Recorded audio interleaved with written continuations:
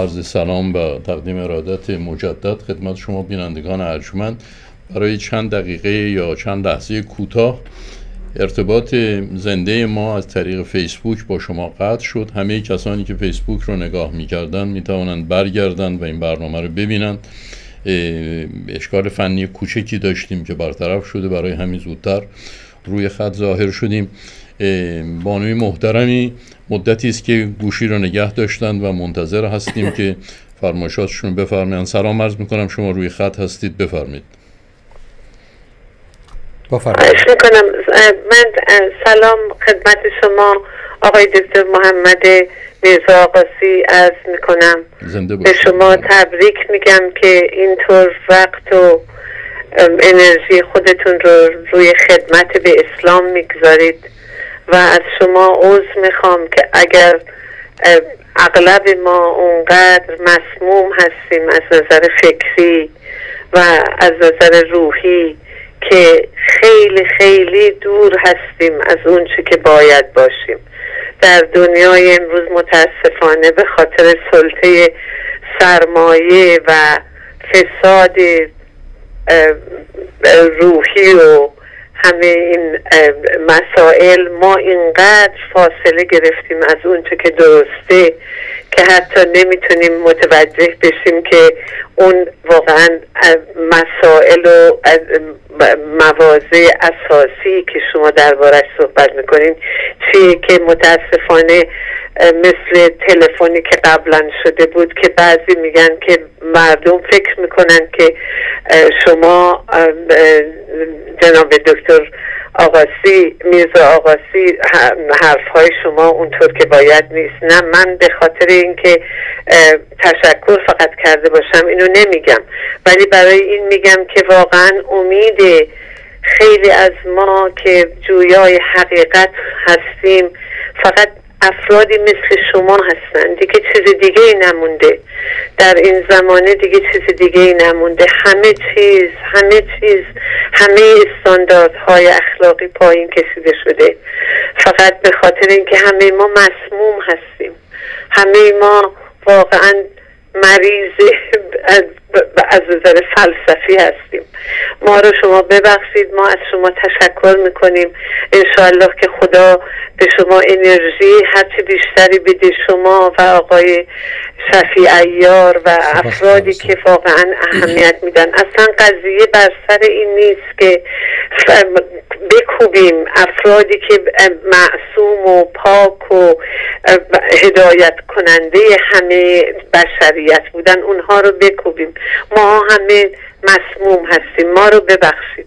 امیدوارم که خداوند به شما انرژی بیشتر بده در امید زندگی ما در بخصوص در این قرب بدون مایه اصلی فقط افرادی مثل شما هستن. می‌خواستم تشکر کنم. من دیگه وقتتون رو نمی‌گیرم. یک دنیا. ممنون مشکرم از طرف خودم و از طرف برادر ارجمندم آقای شفیع یار از شما صمیمانه سپاسگزاری می‌کنم و وجود شما و امثال شماست که اساسا این شبکه رو به وجود آورده. شماها ایجاد کننده این شبکه هستید. و می‌توان به جرأت گفت که این جزء بارهای اولی است در تاریخ اصلا تشکیل تلویزیون و رسانه که یک رسانه می‌تواند که با این افتخار و با این گردن افراشته تو چشم مردم نگاه بکند و سراسر دنیا یک شاهد بخواهد که اگر کسی معرفی کند که این شبکه جز با پول و جز با خون و جز با سرمایه مردم نحوه دیگری این کار عجیب و غیر قابل باور رو به منصه ظهور رسانده این جز با تکیه کردن به شانه های پهناور و قدرتمند شما و امثال شما به خصوص زنان شیردل زنانی که باعث افتخار جامعه بشریت هستند. هشتاد درصد از حمایت کنندگان این برنامه زن هستند. هشتاد درصد. و عجیب است که از این هشتاد درصد هشتاد درصد افغانی هستند. زنهای افغانی هستند. و بسیار تشکر خانم عزیز. لطف کرد امید ما شما هستید. خداوند خداوند در حال حاضر برای ما ناامیدان. شما رو برای اینکه دیگه به فرمی هست که هیچ کس زبان آدم رو نمی‌فهمه. فقط ما میایم به منزل این تلویزیون رو باز می‌کنیم این کانال رو می‌گیریم و یک آرامش پیدا می‌کنیم برای دویدن بقیه. خیلی متشکریم از شما. التماس دعا به شما داریم. ببخشید ما رو. ما همه مسمومیم. خدا, خدا نگهدار. خدا نگهدار. خدا نگهدار. این هم نماینده بخش عظیمی از بینندگانی است که بله. با این نوع احساس و با این نوع عقیده و با این قلب های پاک و این عاطفه درخشان به تماشای این تلویزیون می نشینند و یکی از بزرگترین افتخارات من این است که افراد گاهی از اوقات تلفن می‌کنند و می‌پرسند که بالاخره ما نفهمیدیم که شما ایرانی هستید یا افغانی هستید. و می‌گویم اتفاقا تمام تلاش ما هم برای پنهان کردن همین موضوعه که ما می‌خوایم واقعا. یک آقایی بود به نام آقای تد کاپل که ایشون برنامه داشت در تلویزیون ABC حالا مثل که فوت کردن بازنشسته شدن و بعد هم فوت کردن. که برنامه داشتن به نام نایت لاین که از شبکه ABC پخش می‌شد و من 20 سال بیننده برنامه ایشان بودم. و اواخر کارش فهمیدم که ایشان یهودی بود. اون هم خودش گفت من یهودی هستم. بله. و بچه ای بودم که گدا بودم و چه بودم و چه بودم و اینها. و من نتونستم بفهمم که این انقدر بیطرف بود که نشون نمی‌داد اینقدر انسان بود. انسان بود و اینقدر بیطرف بود. من می‌خوام عرض بکنم که ما هم اگر بتوانیم انقدر مسلمان باشیم که ملیت ما مشخص نشه. کاملا. یعنی به این درجه از ارادت به قرآن برسیم که به اون چیزی برسیم که قرآن نام امیت و امت بهش میده. یعنی ما همه مسلمانان جهان رو و همه انسانهای جهان رو فرزندان یک مادر واحد بشناسیم. اصلا معنی امی در قرآن یعنی همین. امه یعنی مادر به عربی و امی یعنی مادرانه یعنی کسانی که همریشه هستند. یکی از دلایلی که به پیامبر امی گفته میشه البته امی این مفهوم رو هم داره که این کتابی از خودش نداره. منظور این که این کتاب قرآن مال او نیست. کتاب نویس نیست پیغمبر. به خاطر رد این اتهام است که به او امی گفته می شود نه به خاطر اینکه سواد داشته یا نداشته است. همون موضوع فرعی است بی ارتباط به این موضوع است. اما امی که به پیامبر گفته می شود که از امیین از کسانی که با شما هم مادر هستند نه مادر جسمانی از کسانی که شناسای شما هستند از کسانی که همریشه شما هستند همریشه. ما اگر بتوانیم به اون امت برسیم به اون همریشه ای برسیم که همه انسانهای دنیا رو فرزندان یک مادر واحد بدانیم و برگردیم به قرآن که من همه شما را از یک نفس واحد آفریدم. و اون نفس واحد همون مادر ماست که همه ما از او هستیم. من تصور می‌کنم که خیلی از اشکالات دنیا برطرف میشه. به حال من از شما و هزاران بیننده دیگری مثل شما سپاسگزارم. این برنامه ای رو که ما از اینجا کنترل می‌کنیم که در حال حاضر پخش میشه به صورت زنده توی فیسبوک. ما حدود نه یا ده پلتفرم مختلف داریم که از اینها پخش می‌کنیم. یک دهم اینها معمولا از طریق فیسبوک هست. و ما امروز آمار سی هزار تا رو روی فیسبوک نگاه می‌کردیم که نماینده این هست که حداقل 300 هزار گیرنده مشغول تماشای ماست. حالا هر گیرنده هر چند تا آدم که نشستن پای اون گیرنده اون رو من نمی‌دانم. ولی این استقبال و این مقدار توان قدم برداشتن این تلویزیون 300 هزار نفر خیلی هست. 300 هزار. نفر انسان. به این برنامه نگاه می‌کنند و با این برنامه زندگی می‌کنند من و شفی ایار از فرد فرد شما عزیزان تشکر می‌کنیم و من فکر می‌کنم همین قدی که این تعداد بیننده امشب اساس برنامه های آینده من رو تغییر داده شاید در شما هم همین اثر رو داشته باشه و واقعا خط مشی ما رو در جهت خدمت بیشتر به بله. این جامعه عظیمی که علاقمند هستند و می نشینند و این برنامه ها رو با ما دنبال می کنند شاید که من و شما واقعا باید که یک پلن و یک نقشه جدیدی برای اینکه چقدر می توانیم که خدمت های خودمون رو بیشتر بکنیم به این جامعه مفید و جامعه ای که مخاطب های این برنامه هستند و حتما احتیاجی دارند که بشنوند که این کار را انجام میدن. شما در مورد این خانم توضیحی اگر دارید بفرمایید که من هم اگر مطلبی هست اضافه بکنم. در مورد موضوع این فرمودند که حضرت محمد در قرآن به او دستور داده شده که هر کافری رو که هر کجا دیدی بدون هیچ دلیل و منطق فقط تنها کاری که می‌کنی پیدا کن و دنبال یک چاقو کاردی بگرد قبلش و هر کجا کافر رو دیدی سرش رو از بدن جدا کن. و فرمودن که این چه کتابی است که در مورد کافر بیچاره این فرمان رو صادر کرده. ما به دو نتیجه در اینجا می توانیم برسیم. یکی اینکه برداشت شما از قرآن اشتباه است و یکی اینکه رسول اکرم محمد یاقی و تاقی و ضد قرآن و اسیانگر در مقابل خدا بوده. چرا؟ برای اینکه اگر فرمایش شما درست باشه می‌بینیم که محمد خلافکاره. چرا؟ برای اینکه همین محمد جنایتکار به قول شما.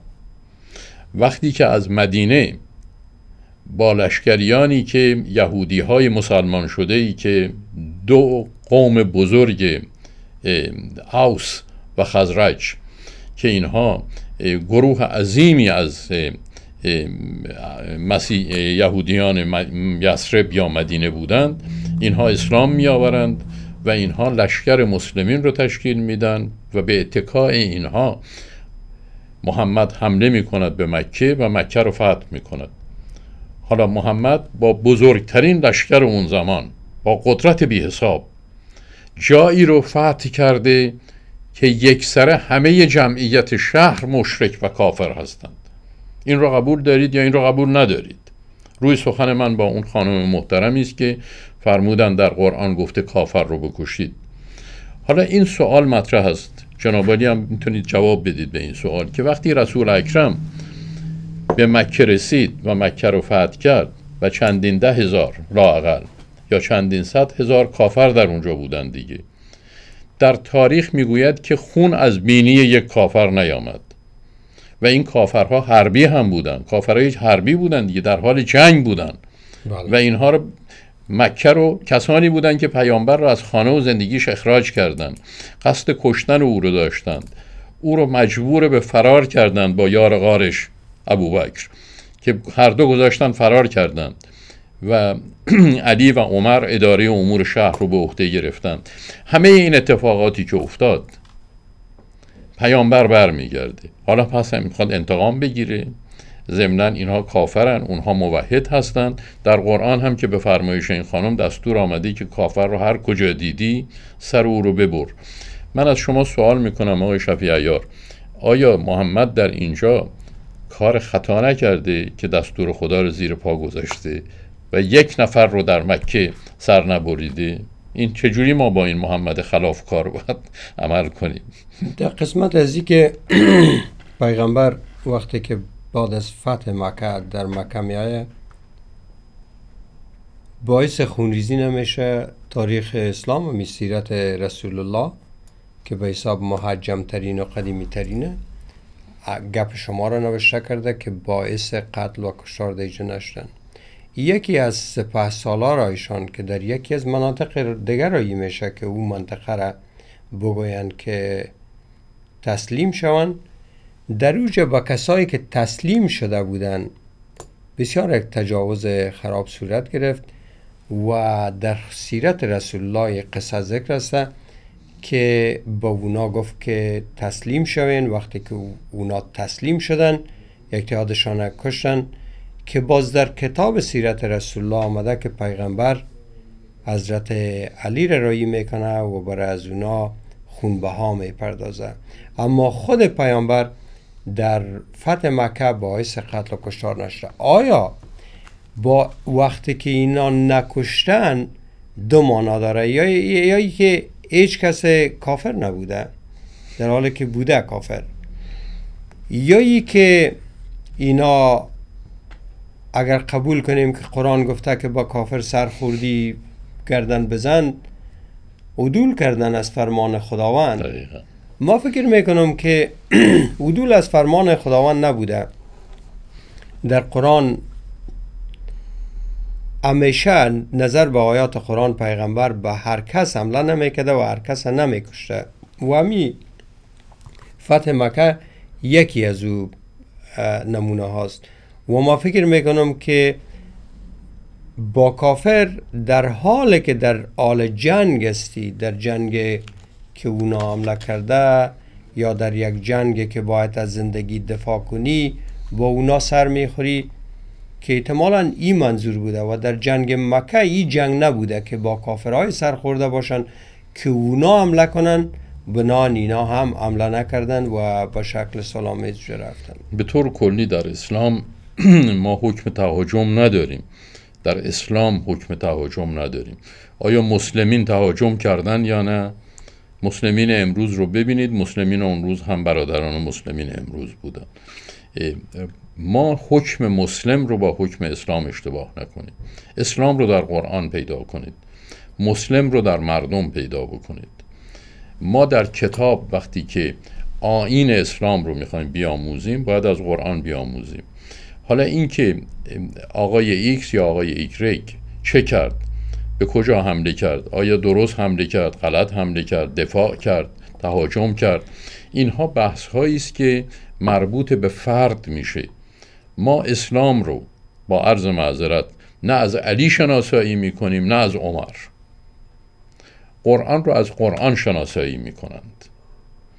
من می‌دانم که این سنت ها و این اسم ها و این تقدس های ساختگی چنان دست و پای ذهن ما رو اشغال کرده که فرار از اون به یک شب و دو شب امکان نداره و ما چنان معتاد شدیم به تقدس سازی.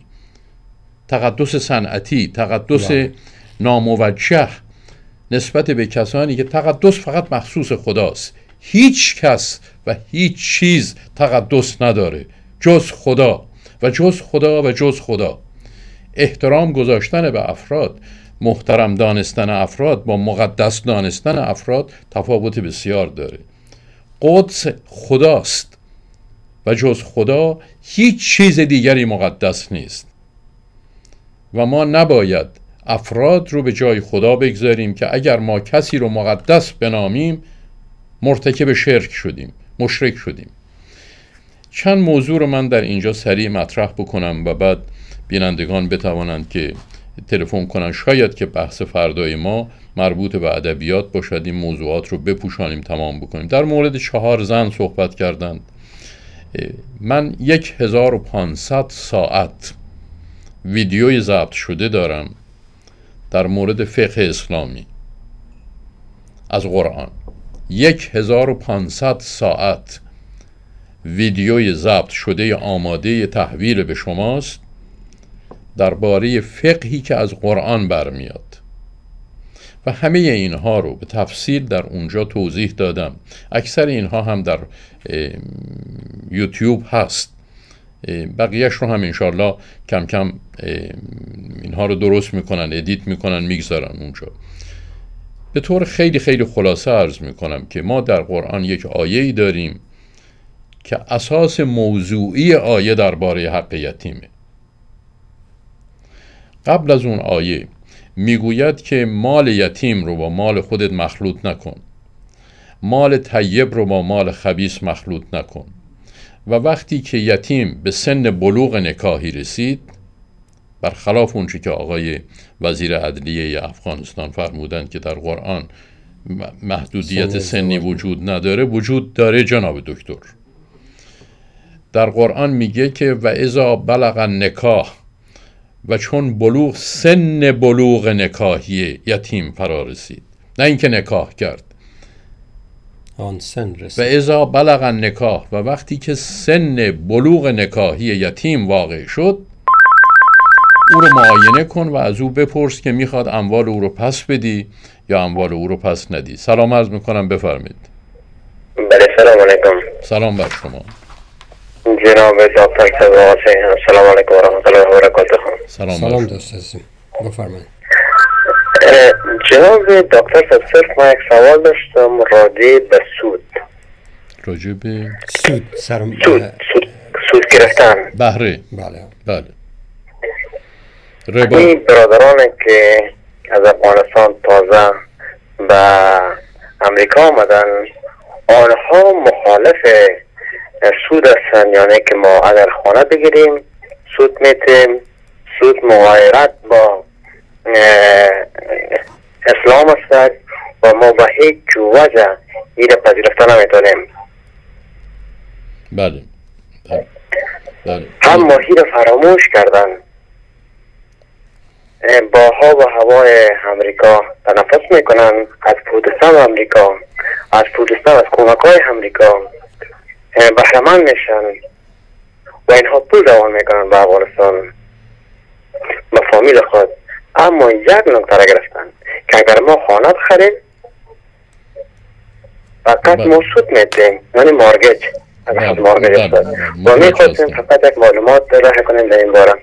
بسیار, بسیار ممنونم. از امر دیگری دارید یا خدا تشکر جناب. تشکر جناب خدا حافظی می‌کنم از شما. در قرآن موضوع انتفاع یا موضوع نفع با موضوع ربا دو موضوع کاملا جدا از همه. ربا در اصطلاح حقوقی تعویز پول با پوله. یعنی شما اگر که به یک کسی 100 دلار می دهید و بعد از او 110 دلار پس می گیرید یک معادله ای به وجود آمده که دو طرف معادله پول است یک طرف 100 دلار است یک طرف 110 دلار است. به این لحاظ به این عمل ربا گفته می شود و این عمل برای گیرنده و بهرهمند شونده از ربا محاربه با خداست. هیچ تبصره و هیچ توجیهی هم اضافه بر این ندارد. کسی که بهره می‌گیرد تنها در حالتی که استرار باشه. همونطور که در ساعت گذشته آقای شفیع ایار اشاره کردند در استرار انسان می‌تواند که گوشت مردار رو هم بخورد. یعنی یک کسی که با یک کسی سفر می‌کند در یک جزیره ای اون دوستش میمیره. و این یکی اگر گوشت مرده او رو نخوره تا کمک برسه این هم میمیره. به او واجب هست که به اندازه صد جو که بتواند زنده بماند و سیانت ذات بکند گوشت مرده خودش رو بخورد. مثلا برادر این با اون همسفر بوده مرده. گوشت برادر خودش رو باید بکنه بخوره که زنده بمانه. این حکم قرآنه. استرار. استرار یک بخشی است در قرآن که بسیاری از کارهای حرام رو حلال می‌کنه. درست بر خلاف احرام که خیلی کارهای حلال رو حرام می‌کنه. مثلا وقتی شما به زیارت حج واجب می‌روید محرم می‌شوید. محرم وقتی می‌شوید یعنی یک سری کارهایی که قبل از این واقعه برای شما حلال بوده در طول انجام اون واقعه برای شما حرام میشه.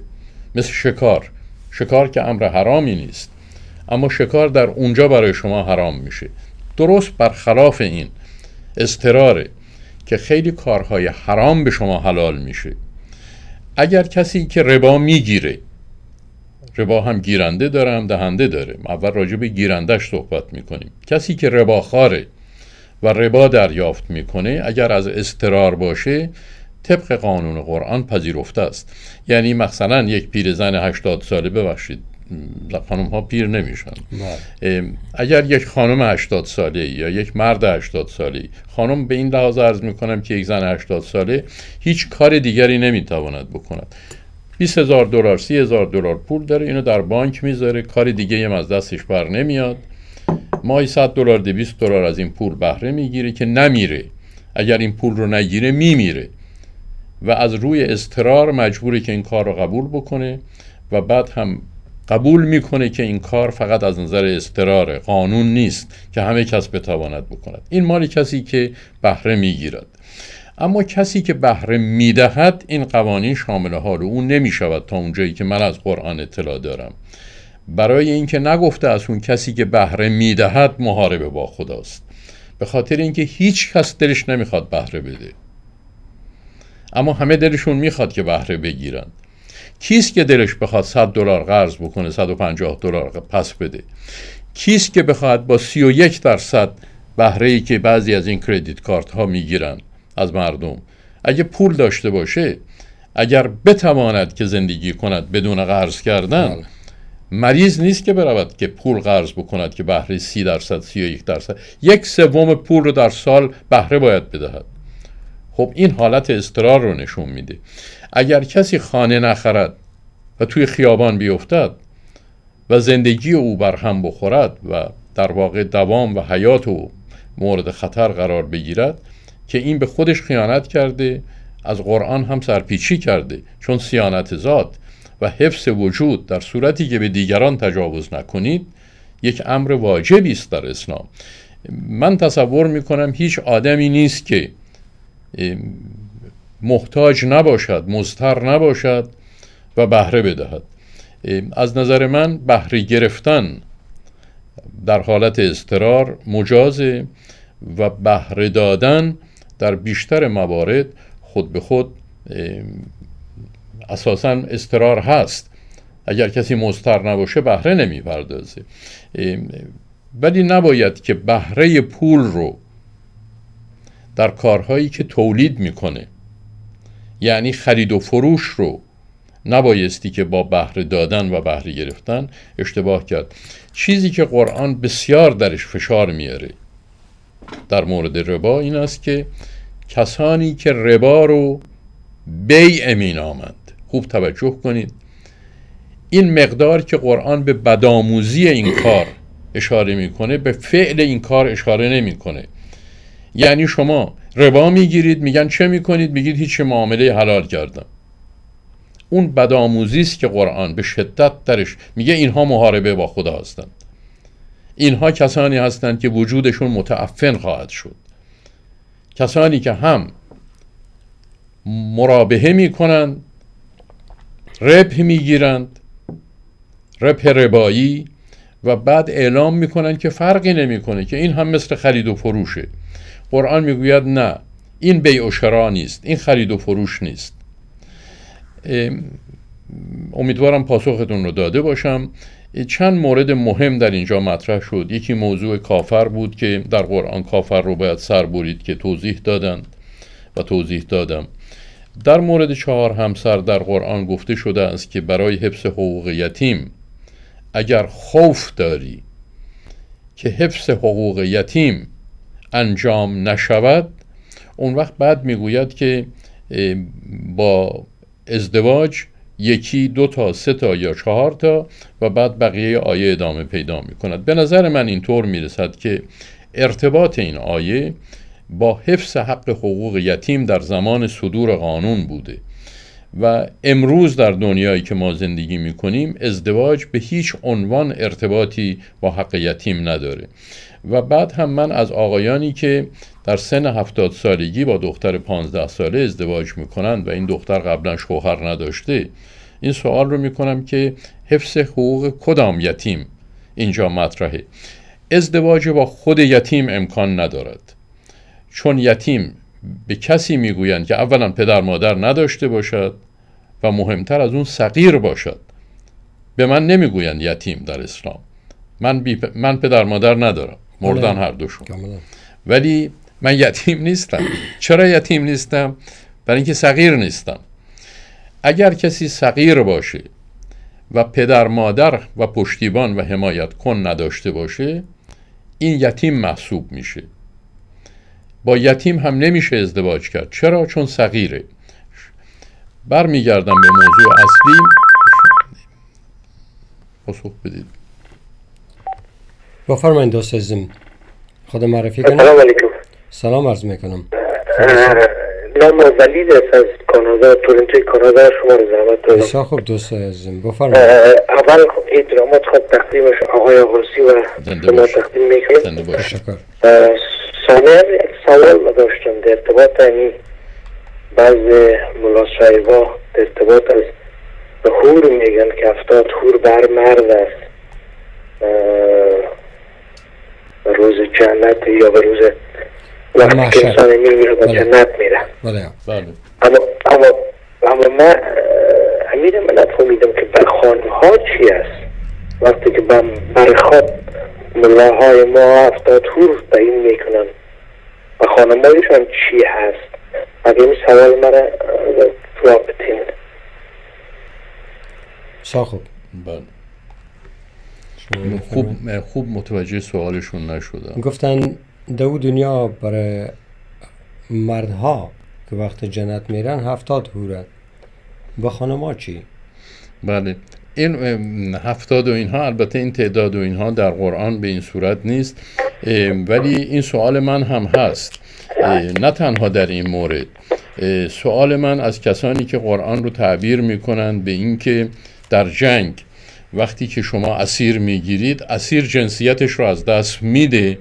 و به نام انسان شناخته نمیشه تبدیل به متاع میشه تبدیل به کالا میشه.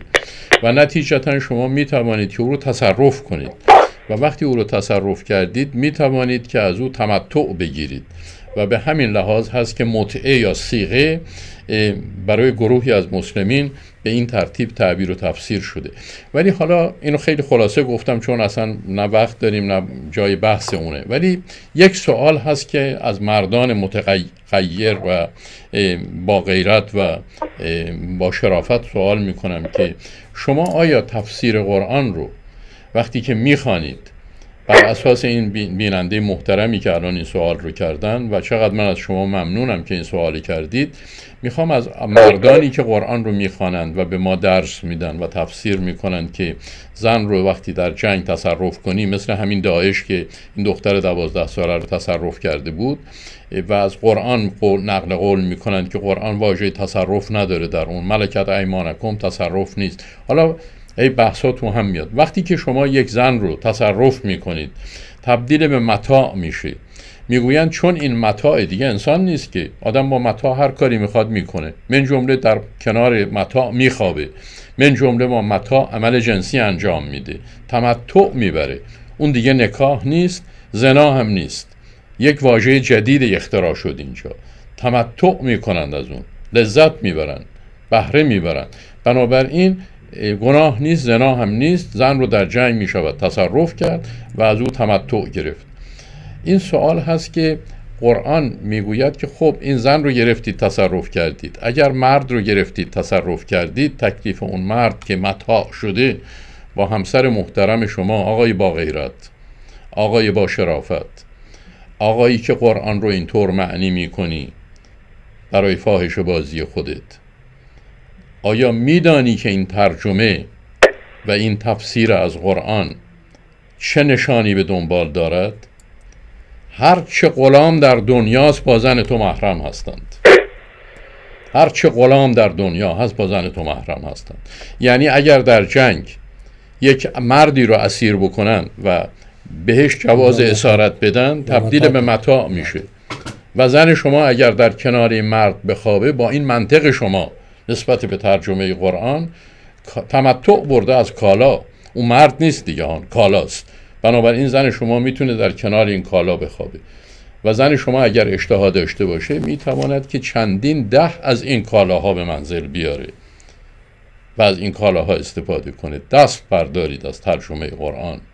دست بردارید از خیانت به قرآن. اما در پاسخ شما برادر محترم عرض می‌کنم که دقیقا همین سوالی است که نشان میده بطلان نگرش این افراد رو به موضوع بهشت.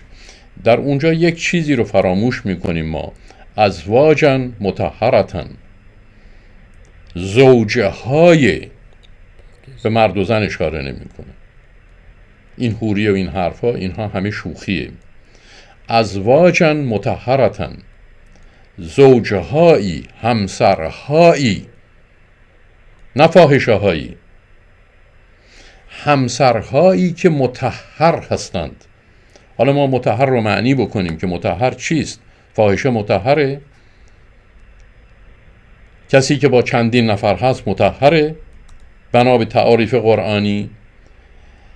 وقتی که کلمه متحر میاد اون وقت رابطه تطهیر و تهارت بین افراد هست. بهش جایی است که شما می توانید با جنس مخالف رابطه بر مبنای تهارت برقرار کنید. همسری داشته باشید که متحر باشه چه زن باشه چه شوهر. من جوان بودم نوجوان بودم می‌رفتیم به مسجد. یک آقایی بود که حالا یا آقا یا هرچه بالای منبر سخنرانی میفرمودن. میفرمودن که در بهشت یک حوری های هستند برای مردها تعریف می‌کردن که قد بلند باعث سکسی بودن زن میشه.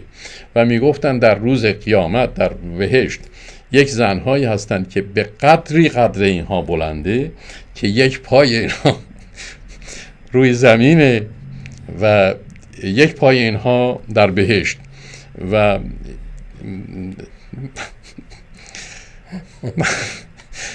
من در این عالم بچگی فکر می‌کردم که به چه دردی می‌خوره. ما همون مشهاد زیر پایش. شما ببینید که ذهن بیمار معلمین ما چه در واقع نطفه های بیمارگونه ای در ذهن ما نهادینه کردند و چیزهایی که هنوز هم دست از سر ما بر نمیداره. و هنوز هم اسلام ما رو همین حرفها تشکیل میده. قرآن نقشی در اسلام ما نداره. من متاسفم که این رو بگم. واقعا آدم خجالت میشه در یک تلویزیونی که این همه بیننده داره این حرفها زده بشه و آبروی خودمون رو ما می‌بریم. ولی چه کنم که این واقعیت که ما برداشتمون از اسلام برداشت قرآنی نیست. برداشت این هست که در بهشت تمام این ممنوعیت هایی که روی زمین وجود داره همه اینها برداشته میشه و در ذهن ما معلمین ما همین ملاها و همین آخوندها از بهشت یک فاحش خانه ساختند و به ما ارائه کردند که اونجا یک جایی است که هم عرق فروشی است هم شراب فروشی است هم فاحشه خانه است هم خانه است هم هیز خانه است همه چی هست. یعنی هر چیزی که در اینجا من شده در اونجا آزاد شده. از خدا یک شخصیت دیوانه ساختن از خدا یک شخصیت دروغگو ساختن. شما ببینید که کار حدیث و کار تعالیم غلط کار این اسلام مبارک و مقدس رو به کجا کشیده؟ شما ببینید که کلام خدا رو ما به چه روزی در آوردیم هم شما این فرمایشی که میفرمایید که من متوجه هستم که چه نکاتی رو رعایت می‌کنید و همون خانم محترمی که گفتند که محمد خودش زناکار بوده متجاوز بوده جنگجو بوده چنین بوده چنان بوده و از ایشان سوال کردم که کدام یک از آیات قرآن؟ ما مسلمان قرآنی هستیم. کدام یک از آیات قرآن دال بر این است که محمد در میدان جنگ به زن اسیر تجاوز کرده. گفتن ای آقا شما بدیهیات رو هم نادیده می‌گیرید. میگم خانم محترم بدیهیات از نظر شما بدیهیاته. از نظر من بدبخت که مسلمان قرآنی هستم و باید احکام اسلام رو در قرآن پیدا کنم من هر چه میگردم در قرآن نمی‌بینم که پیامبر در کدام جنگ دورش خیمه زدن و به دختر اسیر تجاوز کرد. یا من در هیچ کجای قرآن نمی بینم که در خیبر رو علی با یک دست از جا کند. من در هیچ کجای قرآن نمی بینم که اسم علی اومده باشه اسم عمر اومده باشه و گفته شده باشه که علی سر یک شاهی نشسته بود و از طایفه نمی‌دونم چه یهودی 700 هزار 70 هزار 7 هزار نمی‌دونم یک تعدادی مرتب عوض میشه. سر چاه نشسته بود 700 یهودی هم نشسته بودن و در یک بعد از ظهر قبل از صرف چای 700 نفر رو علی با چاقو سر برید انداخت توی چاه و میگن اینو در قرآن هم نوشته. هر چه می‌خوانیم در قرآن چنین چیزهایی نمی‌بینیم. نه اسم علی در قرآن هست نه اسم چاقوی ایشان در قرآن هست نه سر چاهی که نشسته بوده در قرآن هست. ما باید یک تحولی در خودمون به وجود بیاریم و این اعتیاد به خروج از قرآن رو عوض کنیم اگر می‌خواهیم مسلمان باشیم. ما یک بار این قرآن رو مطالعه کنیم. یک بار لاقل این قرآن رو مطالعه کنیم و ببینیم این اتهاماتی که به قرآن وارد میشه در قرآن وجود داره یا نه. من خیلی ممنونم از سوال شما. من برمیگردم به موضوع زنا که موضوعی است که بسیار بسیار موضوع مهمیه. تعریف زنا رو از زبان قرآن می‌خوایم بدونیم چیه. و تعریف نکاح رو می‌خوایم از زبان قرآن بدونیم تا شما ببینید با چه کسانی بی دین و بی شرافتی ما سر و کار داریم که چطور لگدمال می‌کنند آیه های قرآن رو برای حوض های جنسی و مال و جیفه دنیوی قرآن می‌گوید که نکاح تنها وضع رابطه مجاز بین زن و مرد است و دو شرط اساسی در نکاح وجود داره. البته شروط دیگری هم داره باید بنویسن ثبت بدن چه کنن چه کنن. اونها هیچ کدامش باعث ابطال نکاح نمیشه. باعث در واقع دیفکتیو شدن نکاح میشه. معیوب می‌کنه نکاح رو ولی نکاح رو باطل نمی‌کنه. دو اصل در نکاح وجود داره. یک اهلیت. اهلیت یعنی چه؟ یعنی طرفین دارای بلوغ باشند دارای شعور باشند دارای عقل باشند بفهمند که چه می‌کنند. یک اهلیت. اهلیت به زبان انگلیسی میشه legal capacity.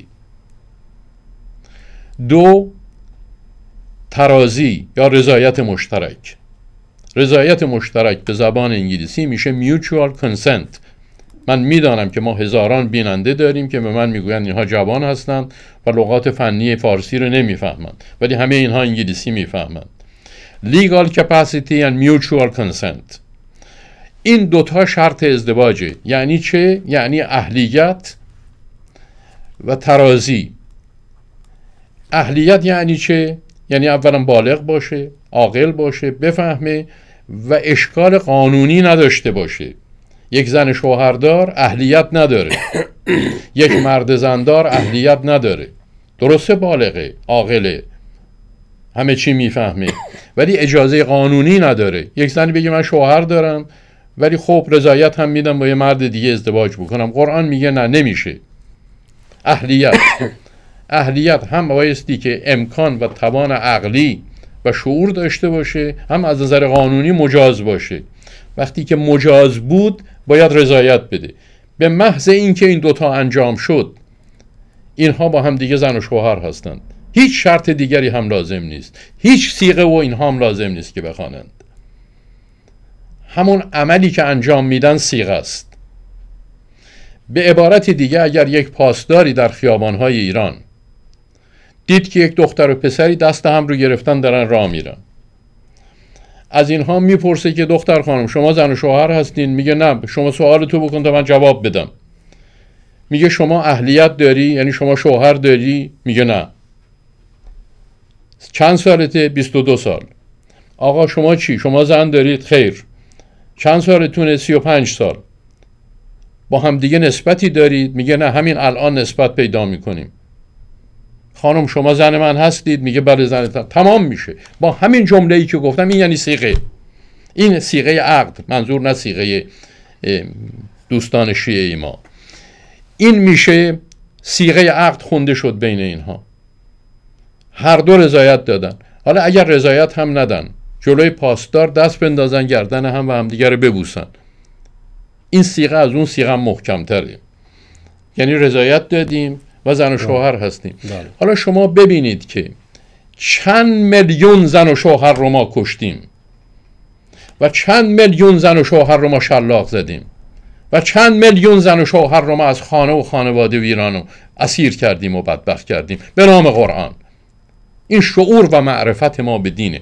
ببینید ما این قرآن رو باید بازخانی کنیم. ما این قرآن رو باید بازشناسی بکنیم. این در مورد موضوع نکاح و موضوع زنا. موضوع زنا با موضوع تجاوز در اسلام متفاوت آیه سریح ما داریم در قرآن که شما وقتی به کسی تجاوز می کنید اون تجاوز زنا محسوب نمیشه. اون ریپ محسوب میشه اون تجاوز محسوب میشه. یک کار جنایی انجام شده. در زنا لازم نیست که دو طرف زناکار باشند. من تا به حال نتوانستم هفتاد سال از عمر من میگذره و بیش از هفت هزار از این ملاها رو من دیدم با اینها صحبت کردم. هنوز نتوانستم این موضوع رو در کله اینها فرو کنم. که نکاح دو طرف لازم داره. زنا یک طرف لازم داره. دو طرف زناکار می توانند باشند می توانند که دو نفر زناکار نباشند. اگر کسی که به زور به کسی تجاوز می‌کنه او زناکار محسوب میشه. ولی اون قربانی زناکار محسوب نمیشه. قربانی یا ویکتم یک رابطه تجاوز آمیز محکوم نمی شود اون قربانی اون حادثه است. اینها رو ما هیچ رعایت نمی کنیم شما ببینید چند نفر از این آدم هایی رو که ما شلاق زدیم ما زندانی کردیم ما سنگسار که سنگسار کردیم. بسیاری از این افراد که سنگسار شدن اهلیت داشتند. سند ازدواج نداشتند. مرد هم اهلیت داشته. یعنی یک مردی بوده با یک دختری با یک زنی در خیابان اینها رو گرفتن یا در هتلی اینها رو گرفتن یا در جایی اینها رو گرفتن. پرسیدن سند ازدواجشون گفتن سند نداریم. تا حالا زن و شوهر نب... تا حالا البته زن و شوهر نبودیم الان شدیم. به موجب همون دینی که تو ادعا می‌کنی پیرو به این دین هستی. حالا این دوتا الان هم اهلیت دارن هم رضایت دادن. تو کی هستی؟ در مورد شواهد زنا صحبت فرمودید. ما در مورد زنا بایستی که موضوع شهادت مطرح باشه و موضوع شهادت به قول ملاها یا به قول آخوندها بایستی که از اتحاد اربعی شهادت برخوردار باشه. اتحاد اربعی یعنی چهار چیز بایستی که متحدن در یک جا وجود داشته باشه. اتحاد موضع یعنی که از یک جهت همه نگاه بکنن. از دو جهت نگاه بکنن نمیشه. یعنی قاضی می‌پرسه که شما کجا بودین؟ میگه من جنوب شرقی رو نگاه می‌کردم. شما کجا بودین؟ من هم همونجا من هم همونجا. میگه خب موضع درست کن. چه وقت بود؟ زمان. اتحاد زمان می‌خواد. میگن ساعت دو دقیقه بعد از چهار و دو دقیقه بعد از ظهر بود. مشکل دوم هم حل شد. کجا بودید؟ هر چارتای ما در یک لحظه در یک مکان بودیم و به یک زاویه نگاه می کردیم و در یک زمان اونجا بودیم. چه چیزی دیدید؟ هر چهار نفر باید یک چیز واحدی رو دیده باشند یعنی اتحاد موضع اتحاد زمان اتحاد مکان و اتحاد شهود باید داشته باشند خب این که میشه فیلم های پورنو کیست که آخه با یک کسی دیگری رابطه محرمانه و رابطه خصوصی داشته باشه و چهار نفر رو دعوت بکنی که در یک جایی با یک زاویه به خصوصی بیستن. منظور به این که قرآن برای جلوگیری از مجازات و در عین حال برای حفظ آبروی طرفین و برای اینکه متنبه بشوند و اصلا این موضوعهای لجن در جامعه بیشتر بروز نکند همه جور جلوی این کارها رو مسدود کرده و بعد هم یک سوالی که من باز از شما دارم این است که ما در قرآن قانون منع سنگسار داریم. اولا این سوال دو تا سوال است. یکی این که ما به چه اجازه زنها رو سنگسار می‌کنیم؟ چون در مورد زنا وقتی ثابت شد که چهار نفر گفتن که آقا این آقا با این خانم می‌خواستن با هم بخوابن و از ما خواستن که ما در این گوشه اتاق حاضر باشیم. و مراقب باشیم ببینیم اینها چی کار می‌کنن. فرض کنید که همچین چیزی بود. زنا ثابت میشه. حالا وقتی زنا ثابت شد قرآن در اینجا حکم داره. و بعد هم قرآن می‌گوید خدا می‌گوید که حدود من ناموس منه. همینطور که ما ناموس داریم بله. خدا هم ناموس داره. حد خدا حدود خدا. ناموس خداست. و خدا میگه به ناموس من تجاوز نکنید. و بعد می‌گوید قانون من ناموس منه. بله. قانون من اینه که زن و مردی که زنا می‌کنند اون که زناکاره حد اکثر تا. بله. چون قوانین قرآن قوانین سقفی است. قوانینی مثلا common law مثل کشور آمریکا که ما زندگی می‌کنیم قوانین سطحی است. یعنی فرقشون با هم اینه که در قوانین جنایی اسلام شما یک حد ceiling دارین. از اونجا بالاتر نمی‌تونید برید. ولی zero تا ceiling.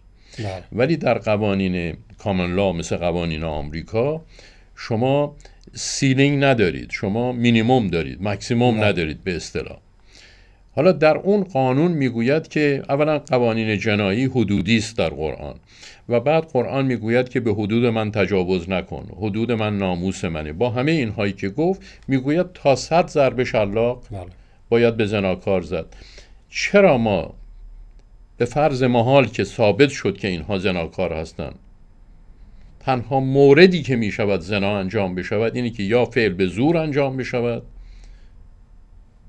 یا اینکه زن و شوهر زن و شوهر داشته باشن. یعنی من زن داشته باشم اون زن شوهر داشته باشه تا زنا انجام بشود. اگر این نباشد به زور باید انجام شده باشه. یک طرف زناکار است یک طرف قربانی. اگر صغیر باشه یک طرف زناکار است یک طرف قربانی. قربانی هر دو طرف لازم نیست زناکار باشن. حالا زناکار پیدا شد. قرآن می‌گوید این زناکار که پیدا شد حد اکثر این صد ضربه شلاق باید بله. بخوره. ما به چه مناسبت؟ اولا سنگسار می‌کنیم و بعدم تا به حال هیچ مردی رو سنگسار نکردیم. این دو مورد رو شما می‌دونید چرا ما این کار می‌کنیم. اونمو عدول از قرآن است. ما به اساس قرآن چون مسلمان نیستیم. اکثر امور ما با اساس همو شعون یا سننه که در جامعه بوده قبول کردیم. و ما فکر می‌کنم که با وجودی که در قرآن بارها علیه فرعون گپ زده شده و سنن و انعنش ما امور قبول کردیم.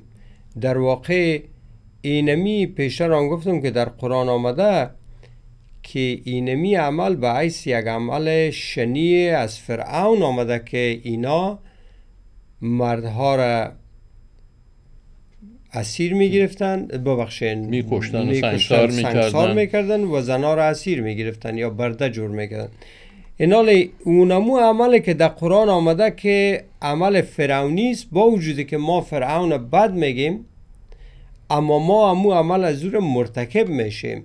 و ما فکر می‌کنم که به عیس یک سنتی که در او جامعه قبل از اسلام وجود داشته پشت در پشت آمده و ما قبول کردیم و مردها در کشورهای اسلامی از امو حدود که برشان گفته شده بلند میرن و ایره به اساس غیرت خود فکر می‌کنن. امی غیرت ما نمیمانه که زن باید بکشیم اگر به اساس قرآن ببینن قرآن امو صد شلاق در این مورد گفته.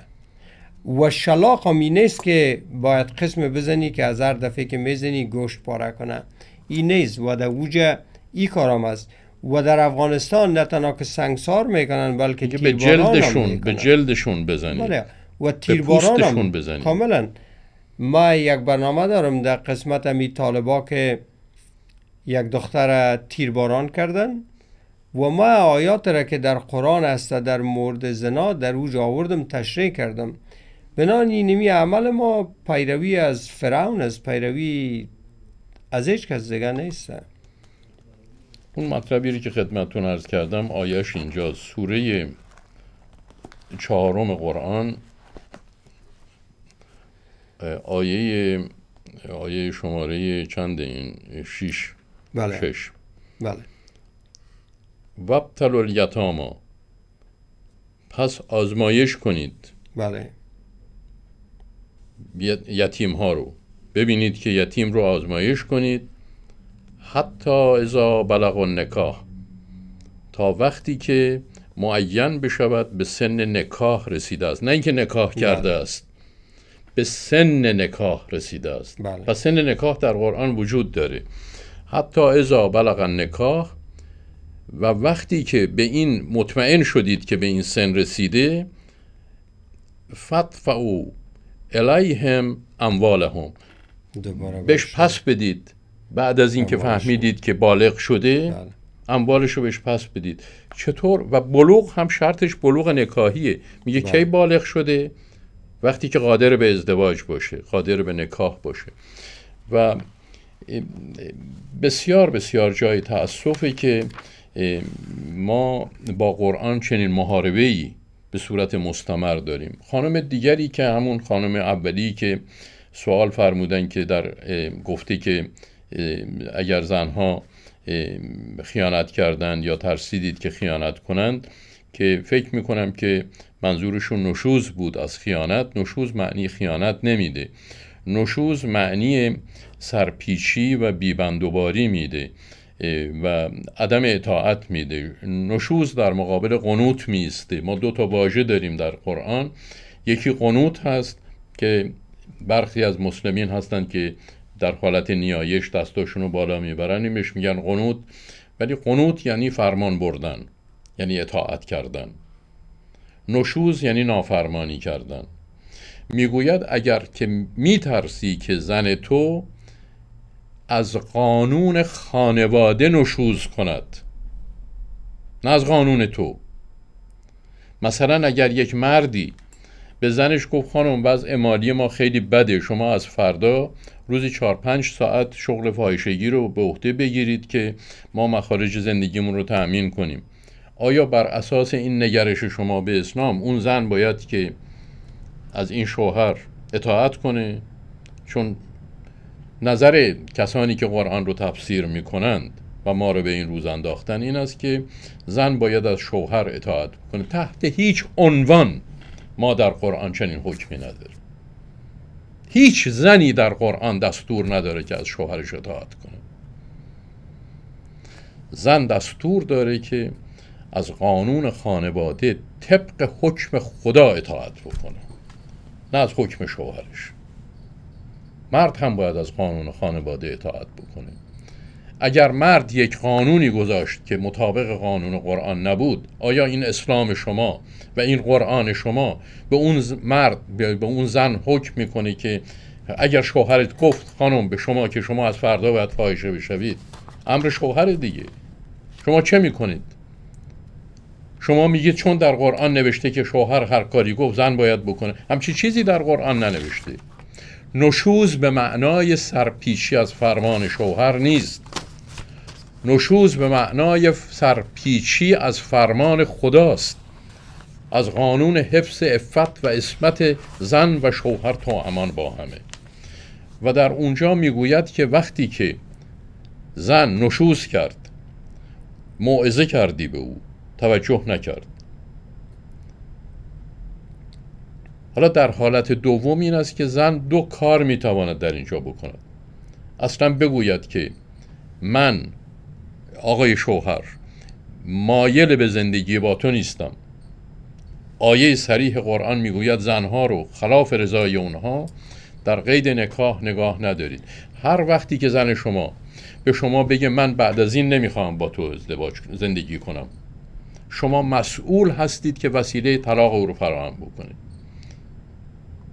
زن دو آیه ما در قرآن داریم. یکی می‌گوید که زنها رو بر خلاف تمایل اونها در قید نکاح نگاه ندارید و یکی دیگر هم می‌گوید که و آشروهن بالمعروف با زنهای خود بر اساس حسن رابطه حسن رابطه بالمعروف معاشرت بکنید.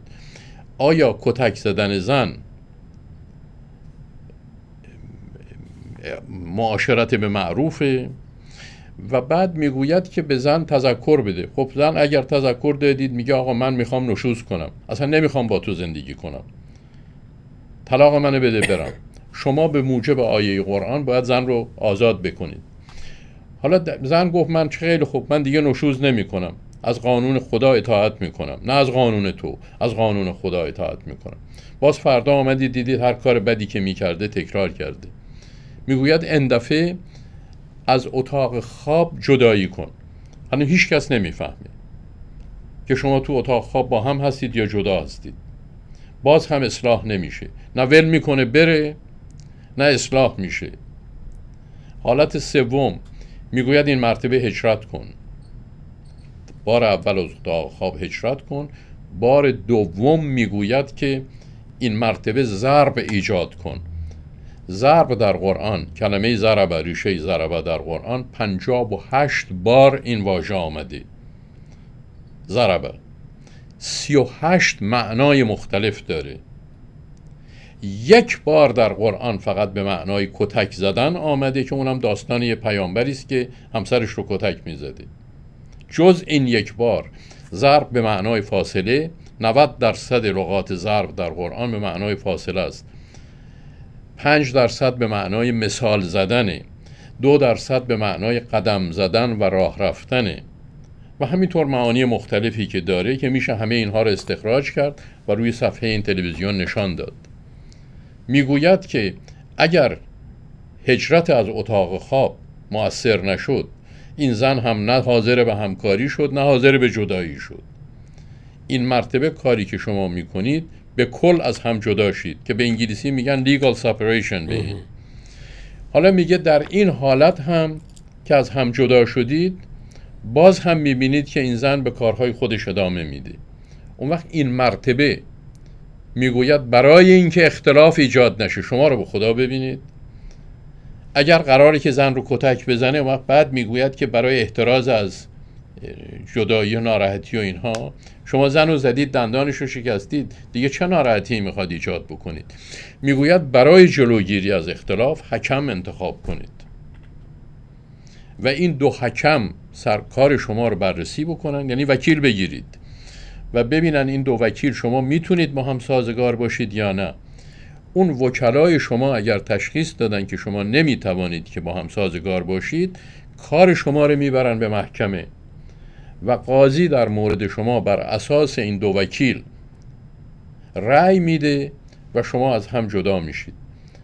آیا این تطبیق می‌کنه این کل این آیه با اینکه وسط کار که شما می‌خواید برید محکمه و به جدایی برسید میگه قبل از اینکه به وکیل مراجعه کنی تا اونجایی که جا داره فک این دختر رو بشکن سرش رو بشکن دستش رو بشکن. اگر موضوع حل نشد و رضایت این خانم فراهم نشد اون وقت وکیل بگیرید. آیا شرافتا شما این آیه قرآن رو اینطور معنی می‌کنید؟ اما درد ما خیلی زیاده آقای یک چیزی که ما می‌خوایم دهی علاوه کنم که عملا ما در جوامع اسلامی قرآن به این رقم ترجمه نشده تفسیر نشده. یعنی ای که جناب آقاسی ای را خوب ترجمه می‌کنه در ما سوال ندارم. عملا وزربوهن در بین علمای اسلام زدن تشخیص داده شده و در جوامع ما است. ما در این مورد حداقل چهار پنج برنامه داشتیم. دیگه تلفن نمی‌گیریم دوستا امیال از وقت ما تیر شده. فردا ساعت دوازده در خدمت شما می باشیم. اولا در جامعه امروز در افغانستان به صدها نه بلکه هزارها زن لط می‌خورن حق گرفتن طلاق ندارن و در جامعه ما اینا به این رقمی که قرآن گفته که اینا می‌تونن حق نکاح داشته باشن ندارن. با این رقمی که یتیم باید برای خودش اجازه داده شه مالش برای خودش در صورتی که با بلوغ رسیده باشه داده شده باشه. در جوامع ما عملا علمای اسلام بلوغ شدن یک خانم برای از او یک سن ندادن که مثلا 18 ساله یا 16 یا یا کمتر از اون مده ها عالم اسلام در افغانستان دارم.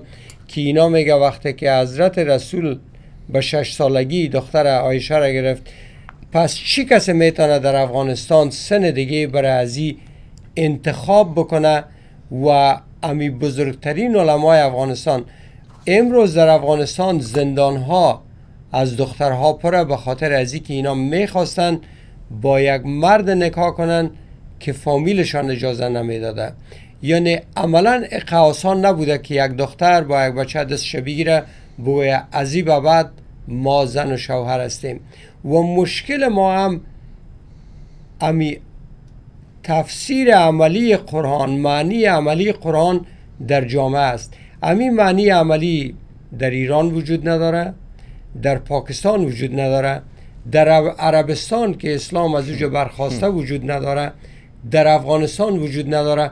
و ای به این معناست که قرآن غلط تفسیر می‌کنن برای ازی که به امیال و آرزوهای خود برسن, برسن. ما در امی امریکا علمای اسلامی داریم. از جمله ما مشکل ندارم که نامشان بگیرم.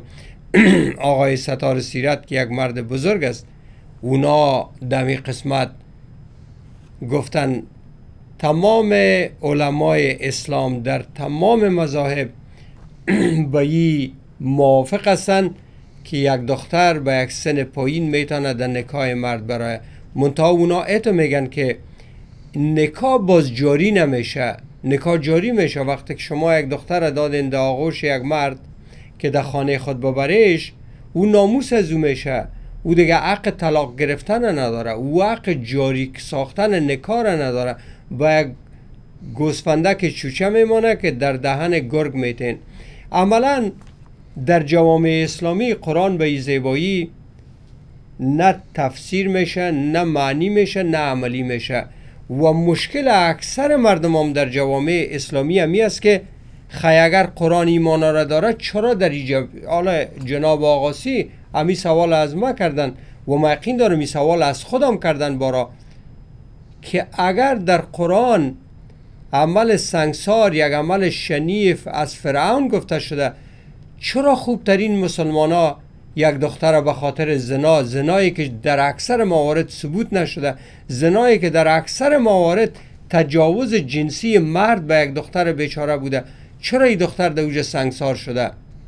واقعا چرا شده؟ در صورتی که قرآن در این داره. مشکل دیگه ما در پهلوی حدیث همی است که ما قرآن به شکل که است با یک ترحم و مهربانی به یک شکل که در جامعه سهولت ایجاد کنه. مردم بتانند زندگی بکنند زندگی خوب تفسیر نمی‌کنیم. ما تفسیر قرآن در افغانستان در دست آقای آقاسی نیست در دست مام نیست. ما در افغانستان مطرح نیستیم به حیث علمای اسلام. ما باعث بله ما باعث کفار مطرح هستیم. ما تلاش داریم که از روی قرآن ثبوت کنیم که نه ما مسلمان هستیم شما نیستین. اما در افغانستان ما تکفیر شدیم بارها تکفیر شدیم. نفرها از افغانستان آمدن که ما در امریکا شفیع را می‌کشیم. در حالی که ما مطابق آیات قرآن گپ می‌زنیم. اما در افغانستان اونمو کسایی که ما را تکفیر می‌کنه. اونمونا فتوا میته که دختر چهار ساله دختر سه ساله دختر دو ساله می‌تونن نکاح شوه. و شده در افغانستان. دختر خود نمیتن به نکاح. در قسمت دختر مردم می‌گیرن نکاح می‌کنن و تجاوز می‌کنن به او دختر. و او دختره که خورده که در نکاح در آمده. در افغانستان با وجودی که یک زن مسلمان باید حق گرفتن طلاق داشته باشه. در افغانستان به هیچ وجه یک دختر نمی‌تونه برای طلاق برم در محکمه میکشنشه. حالا یک دختره که چهار ساله که در نکاح یک مرد خشن آمده مثلا اینا میگن نکاح جاری نمیشه باید به سن بلوغ برسه. فکر کنین که شش سال دیگه منتظر شدن که دخترک شده شش و هشت شش شش دوازده ساله. برای از او می‌تونی بگویی که این زن تونست یا او دختره که دوازده ساله می‌تونه یک آدم خشن قاتل که هر چیز از دید اسلام افراطی خود می‌بینه بگویه که من خانم تو نمی‌تونم باشم نه به خاطر میکشش.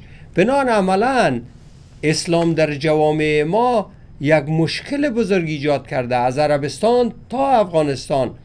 اینال ما نمی‌تونیم تنها با تفسیر زیبای از قرآن مشکل جامعه را حل کنیم. باید مردم ها استاد شوند در یک خط. استاد شوند قرآن بگیرن قرآن عملی کنن. اگر اینمی کار نکنن امی تشریعات زیبای قرآن عملا باعث کدام تغییر نمیشه.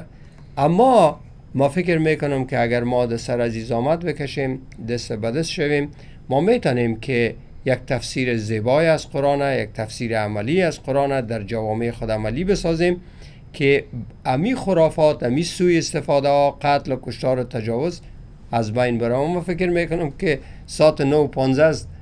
ما شما از پایین در خدمتشان بودیم. می‌تونیم که خدافزی کنیم. امروز باعث افتخار و من فکر می‌کنم که سودی بود که برای من و برای بینندگان در برداشت سود معنوی در پایان برنامه امشب عرض می‌کنم که به نظر من علما اکثر علما مسئول سقوط اسلام به این درجه هستند.